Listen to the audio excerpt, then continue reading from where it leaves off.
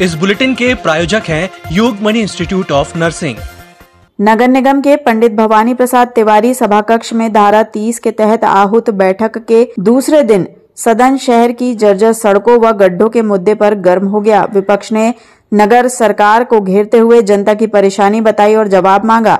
शोर शराबे के बीच पीडब्ल्यूडी विभाग के प्रभारी एमआईसी सदस्य मनीष पटेल जवाब नहीं दे पाए। भाजपा पार्षद कमलेश अग्रवाल ने पूछा तो प्रभारी की बोलती बंद हो गई। तब मेयर जगत बहादुर सिंह अन्नू ने मोर्चा संभाला और विपक्ष को गड्ढे भरे जाने संबंधी जानकारी दी। मेयर ने कहा कि जो गड्ढे भरे गए बारिश के कारण उनकी हालत फिर वैसी ही हो गई। मेयर ने यह भी स्वीकार किया कि फ़िलहाल अभी पूरे गड्ढे भरे भी नहीं हैं। उन्होंने कहा कि फ्लाईओवर के नीचे वाले गड्ढों को भरना नगर निगम की ज़िम्मेदारी नहीं थी, लेकिन फिर भी निगम ने ही गड्ढे भरे। तेईस सूत्रीय मांगों को लेकर बुधवार 21 सितंबर को हड़ताल पर गए निगम कर्मियों ने आज 22 सितंबर को कामकाज सुबह से ही ठप रखा। विभागों के ताले नहीं खुले। कर्मचारी संघ पर नगर निगम कमिश्नर आशीष वशिष्ठ के उस आदेश का भी असर नहीं दिखा, जिसके हड़ताल को अवैधानिक बताया गया है। उल्टा कर्मचारी नेताओं ने गत दिवस दर्ज कराई गई एफआईआर को वापस लेने का अल्टीमेटम दिया है। टोटल फर्जी F I R CCTV footage आप देख सकते हैं। एक जगह ये नहीं दिख रहा है कि हमारे कर्मचारी ने जाके तोड़ फोड़ की है। सिर्फ़ और सिर्फ़ इस हड़ताल को ख़त्म करना, कर्मचारियों को कुचलने की नीति के तहत ये एफआईआर की गई है, जिससे हम डरने वाले हैं। हमारा एक कर्मचारी अधिकारी किसी कर्म, कर्मचारी का नाम लेने तैयार नहीं है। दबाव बना के रात को 11 बजे तक उसको प्रताड़ित करके उससे कहा जा रहा है कि ये नाम लिखवाइए। तब एफआईआर हुई है। तो प्रशासन क्या समझता है? कि क्या एफआईआर करने से हम डर जाएँगे? या हमें जेल भेज दोगे आप तो ये कुचल जाएगा हमारा आंदोलन? बिल्कुल नहीं। ये हमारे आंदोलन का दमन करने के लिए शासन का यह प्रयास है। वो आप देख पा रहे हैं, हम शांतिपूर्ण ढंग से अपना कार्यक्रम कर रहे हैं। आंदोलन धरना कर रहे हैं और ये कमिश्नर की नादरशाही क्योंकि वो अपने आप को बचाना चाहते हैं, इसलिए कल छुट्टी पे थे और आज हमारे इस आंदोलन को बंद करना चाहते हैं। और आंदोलन हमारा सिर्फ़ इस बात पे है कि हम क्यों करें? पैंतीस योजनाओं का संचालन शासन के सात विभाग, कृषि विभाग, वन विभाग, बैंक, राजस्व, अन्य और विभागों को संचालित कर रहे हैं, जो हमसे करवाया जा रहा है, जिसका हम विरोध कर रहे हैं। और इसी कारण आज ये दमनकारी नीति चली है और हमारे ऊपर एफ़ हमारे ऊपर एफआईआर कराई गई। हम इसका विरोध करते हैं। बिल्कुल संपूर्ण काम बंद रहेगा। जब तक हमारे ऊपर से ये एफआईआर बंद वापस नहीं ली जाती है, तब तक हमारा कर्मचारी साथी और हमारा संगठन यूँ ही अनवरत काम बंद हड़ताल करेगा जबलपुर और पूरे भारत में ओपन वेब पर एक्सचेंज से सट्टा खिलाने वाले फरार आरोपी सतीश सनपाल और उसके नौ गुर्गों के विरुद्ध मदन महल थाने में एक और धोखाधड़ी का प्रकरण दर्ज किया गया है, जहाँ सीएसपी प्रभाष शुक्ला ने जानकारी देते हुए बताया कि मनिंदर कंधारी ने अपने बेटे की साइन किए हुए चेकों की गुम एवं चोरी होने की शिकायत थाने में दर्ज करवाई गई थी। वहीं लॉकडाउन के कारण इसकी सूचना विलंब से 22 जून 2022 को पीड़ित ने स्टेट बैंक ऑफ़ इंडिया में दी थी और चेक में स्टॉप पेमेंट लगवाया गया था। जबलपुर में दिन भर शहर में ऑटो चलाकर सूने मकान की रेकी, फिर रात में महिलाओं के कपड़े पहनकर रेकी किए हुए घरों में जाकर चोरी की वारदात को अंजाम देने वाले शातिर चोर को गढ़ा पुलिस ने गिरफ़्तार कर लिया है पुलिस पूछताछ में पकड़े गए चोर ने गोरखपुर थाना क्षेत्र की चार चोरी, मदन महल, लाडगंज और गढ़ा थाना क्षेत्र की एक एक चोरियाँ कबूल की हैं। चोर की निशानदेही पर पुलिस ने उसके कब्जे से सोने चांदी के जेवर सहित करीब 11 लाख रुपए कीमत का सामान जब्त किया है Yogmani institute of nursing, Jamdar hospital, Jabalpur. Nursing के क्षेत्र में करियर बनाने का सुनहरा अवसर। प्रवेश प्रारंभ BSc nursing, post basic BSc nursing GNM पता 198 बाई टू रैंकवा, वार्ड नंबर बहत्तर, अरिहंत वेयर हाउस के पीछे, पाटन बाईपास चौक के पास, जबलपुर। जबलपुर के हनुमान ताल थाना क्षेत्र के चांदनी चौक इलाके में रहने वाली 11 वर्षीय नाबालिग बच्ची के साथ उसके ही रिश्ते के फूफा के द्वारा घर में अकेला पाकर अश्लील हरकतें की गई, जिसके बाद जैसे तैसे बच्ची अपने आप को बचाकर पड़ोसी के घर पहुँची। वहीं जब उसकी माँ आई, तब उसने अपने साथ हुई हरकतों के बारे में माँ को जानकारी दी, जिसके बाद में हनुमान ताल थाने पहुँची और अपने नंदोई के खिलाफ शिकायत दर्ज कराई। वहीं मामले में हनुमान ताल थाना प्रभारी उमेश गोलहानी ने जानकारी देते हुए बताया कि हनुमान ताल थाना क्षेत्र में नाबालिग के साथ उसके रिश्ते के फूफा अश्लील हरकत की है। माँ की शिकायत पर मामला दर्ज करते हुए आरोपी को गिरफ़्तार किया गया है।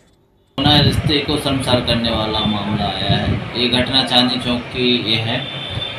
आ, जो पीड़िता जो है आ, हमारे पास आके बताई है कि उसकी बेटी आज घर पे अकेली थी। उसका पति साइकिल की दुकान में काम करता है और वह खुद बंगलों में जाके खाने बनाने का काम करती है। तो नौ बजे इनकी ग्यारह वर्षीय बेटी घर पे अकेली थी। उसी समय जो है इनका नंदोई जिसका नाम आमीन है, ये सोलह क्वार्टर का रहने वाला है। किसी काम से घर आया, घर आके देखा तो कोई नहीं था, बच्ची अकेली थी।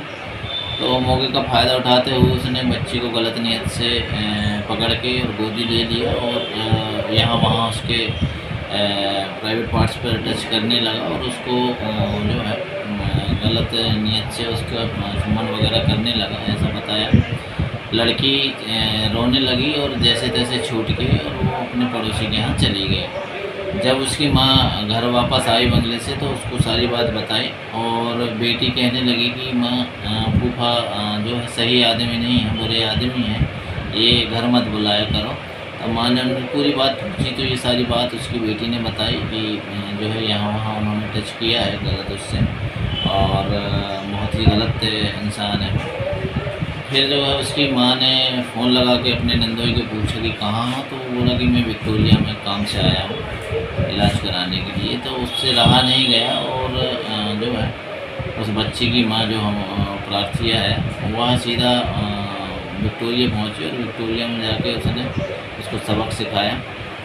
उसको दो चार चांटे मारे और फिर ये बात ओमती तक पहुँची और ओमती से जैसे ही पता चला कि हमारे घटना क्षेत्र है तत्काल जो पीड़िता फरियादियों को यहाँ बुलवाया और इस पर हम महिलाधिकारी को ला के पूरी बात सुन रहे हैं और पर शीघ्र ही चुरखानी और पासको एक्ट के तहत कार्रवाई की जाएगी। जबलपुर में मुख्यमंत्री जन समस्या निवारण शिविर में नगर निगम कर्मचारियों द्वारा की गई तोड़फोड़ और मारपीट की घटना सामने आई है। घटना के बाद शिविर में बाधा उत्पन्न करने वाले नगर निगम कर्मचारियों के खिलाफ स्थानीय थाने में मामला पंजीबद्ध कराया गया है।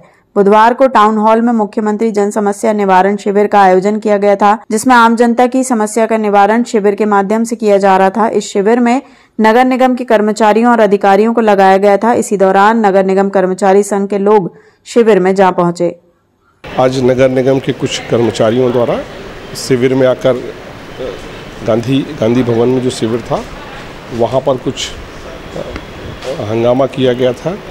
गाली गलौच की गई थी और जिसके संबंध में नगर निगम के ही कर्मचारियों द्वारा एक एफआईआर दर्ज करवाई गई है और उसमें पुलिस अपना काम करेगी।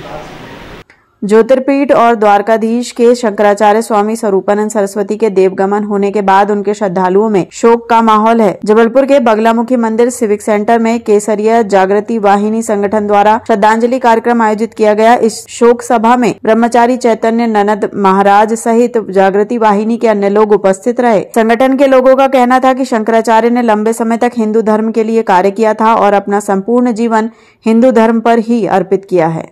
ये मैसेज चारों तरफ़ जाना चाहिए कि हमारे शंकराचार्य, हमारे जितने पूजनीय गुरुदेव लोग हैं, शंकराचार्य जो हमारे धर्म की रक्षा कर रहे हैं, उनके लिए अगर हम हिंदू समाज जागृत होकर आगे नहीं आया तो धीरे धीरे ये परंपरा समाप्त हो जाएगी। इन्होंने हमारे धर्म की रक्षा के लिए बहुत दिनों तक करीब करीब निन्यानवे साल की उम्र में ये दिवंगत हुए।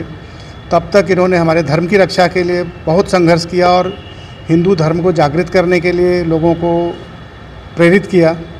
इस उपलक्ष्य में हम लोग यहाँ आए कि हमारे शंकराचार्य जी ने जो हमें दिया है, हम थोड़ा बहुत उनके श्रद्धा में, उनके चरणों में श्रद्धा सुमन अर्पित कर सकें।